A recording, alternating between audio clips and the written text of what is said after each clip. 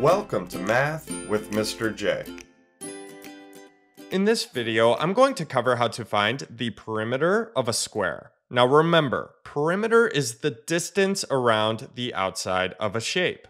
Let's jump into our examples, starting with number one. So let's find the perimeter of this square. And we can do this by adding the lengths of all of the sides. Now for this square, each side is 8 inches. So we have 8 inches, 8 inches, 8 inches, and 8 inches. So perimeter equals 8 plus 8 plus 8 plus 8. 8 plus 8 is 16, plus 8 is 24, plus 8 is 32. So the perimeter is 32 inches. That's the distance around the outside of that square. Now, I do want to mention for squares, we can just multiply a side length by 4, since all of the sides are the same. Instead of 8 plus 8 plus 8 plus 8, we can just do 8 times 4. We get the same thing either way.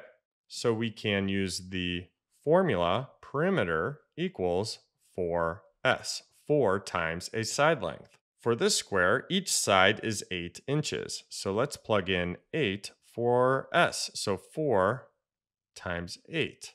4 times 8 is 32. So the perimeter equals 32 inches that way as well.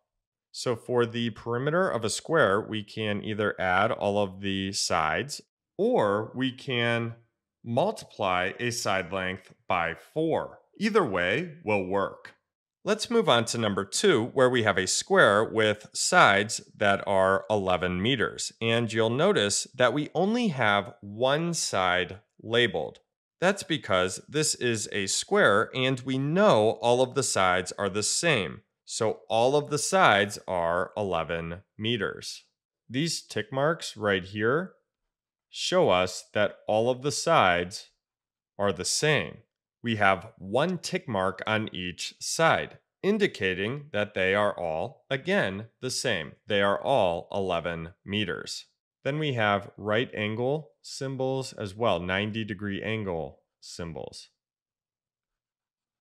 I wanted to include all of these symbols in case you come across them. That way, you will know what they mean. So something to keep in mind. As far as perimeter, let's start by adding all of the sides. So we have perimeter equals, again, all of the sides are 11 meters. So 11 plus 11 plus 11 plus 11. 11 plus 11 is 22, plus 11 is 33, plus 11 is 44. So the perimeter is 44 meters.